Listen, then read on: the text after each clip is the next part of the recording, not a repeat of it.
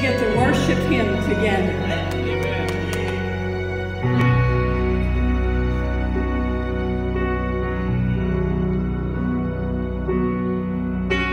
As a child back in Sunday school,